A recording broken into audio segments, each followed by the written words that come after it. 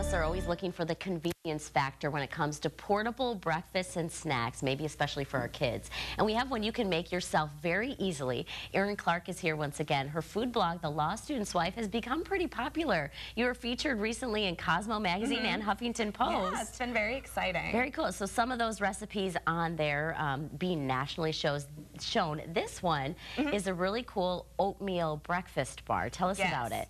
So this is one of my favorite on-the-go breakfast and snacks at oatmeal breakfast bars with peanut butter, banana, and honey. And I love these. One, because I love peanut butter and banana. and then also they are super filling. These bars keep me going all morning and they're incredibly easy to make. Which so is really you just need, you're telling me you just need like two bowls and a spatula yep, that's, and the ingredients. all your equipment. Okay. So we're going to start off with, here's our first bowl, bowl number one. This has our dry ingredients. It's whole wheat flour, oatmeal, and then a little bit of cinnamon for some extra flavor. Okay.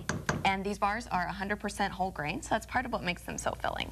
And then what's in the second bowl? This is the wet Yes, stuff. so bowl number two is our wet ingredients, and this is milk, unsweetened applesauce, which is actually one of my favorite ingredients for healthy baking in general. Gets rid of that fat content, yes, it? but it still makes the bars super moist.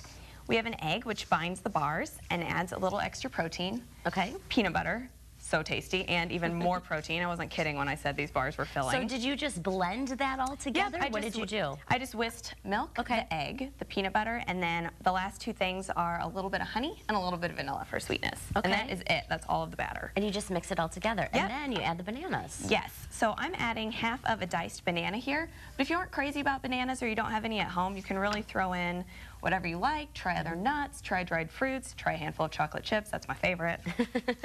that sounds good. And then you just put it in there and we bake these, huh? Yep. So you pour it right into your pan. I've lightly sprayed this with cooking spray just to make sure the bars don't stick smooth it out, and then in half an hour, you have these thickened, golden, and delicious breakfast bars, and, and they smelled amazing. Wow, look who and, showed up. And look oh, who showed hi. up. Hey. Brian wanted to try one. I, I Please to. dig in. Right. they look great. It looks easy. They're and it's so, very easy. Yes, they're so hearty.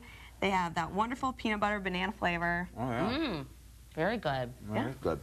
So you're good to go right. for the rest of your day. Mm. Erin, thank you so much. Yeah, all right, thank yeah. you. They look really, it feels like it is going to be filling, and I'm not going to, that's all right. I need for breakfast. Yeah. Mm -hmm. All right, well, if you want that recipe, head to WKOW.com. We'll have a link to the Law Student's Wife blog where you can find that and some other great ideas from Erin Clark. Erin, thanks so much. Yeah, thank it. you. Okay, we'll be back to wrap things up right after this.